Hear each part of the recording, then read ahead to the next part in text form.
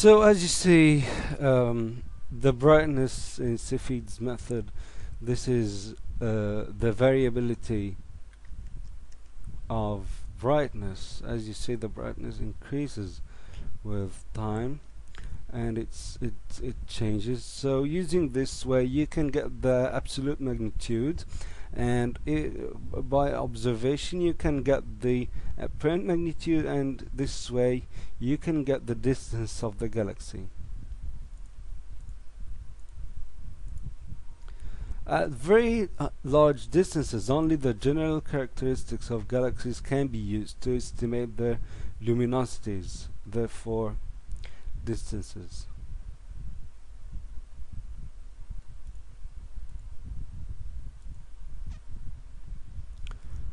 Uh, using Hubble's constant and Hubble's law, we can get the distance of a galaxy.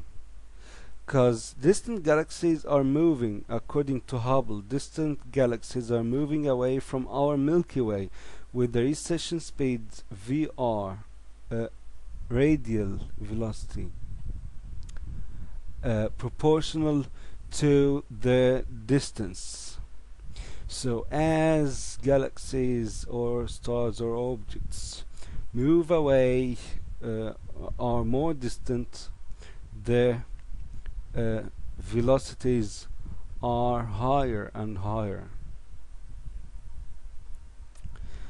Uh, so if we get the velocity of that galaxy using the Doppler effect, the redshift, we can know the distance. So the velocity, uh, uh, we can sorry get the velocity.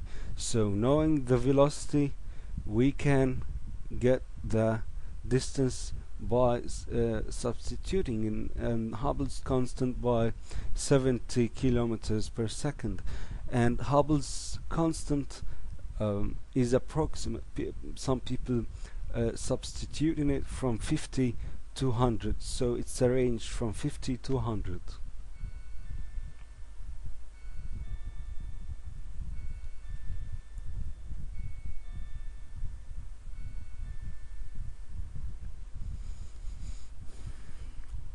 Many galaxies are typically millions or billions of parsecs from our galaxies. So that's why typical distance units is megaparsecs, which is 1 million parsec, and gigaparsec, which is 1 billion parsec.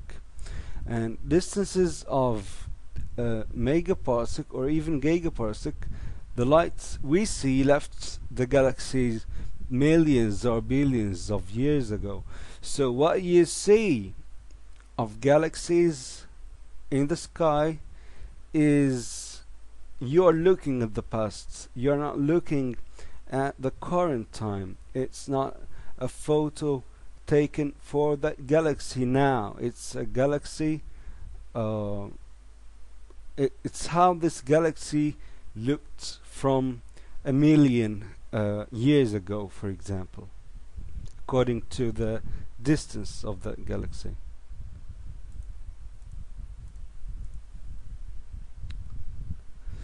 Okay, um, vastly different sizes and luminosities from small low luminosity irregular galaxies much smaller and less luminous than Milky Way to giant elliptical and large spirals a few times the Milky Way size and there are many different sizes and many different luminosities okay you can know the rotation curve of a galaxy and that can be done using um, redshifts. So you can do a redshift for a part of the galaxy here uh, so uh, sorry um,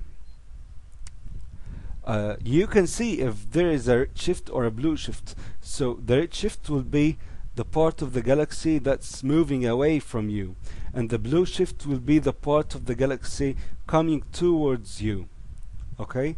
And this way you can know the rotation curve at the distance from the center of the galaxy. As you see here the distance this is moving towards Earth and this is moving away from Earth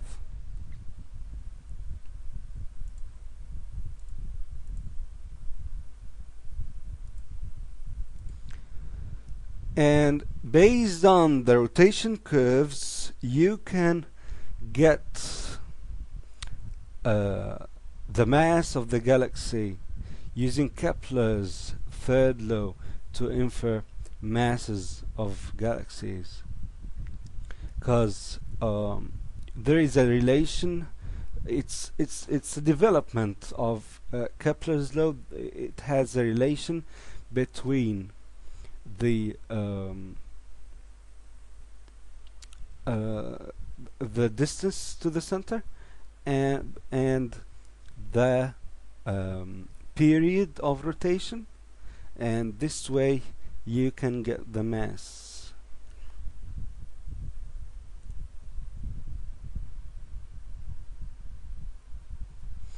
Okay this is a relation of mass uh, in elliptical galaxies compared to the mass of our Milky Way. So mass of elliptical galaxies is from 0.0001 to 50 uh, masses of our Milky Way and spirals are 0.005 to 2 uh, masses and so the elliptical have the the highest masses. Actually not just the highest masses. It, it has the biggest range for very small to very very big. And um, it's the same also for diameters and will be also the same thing.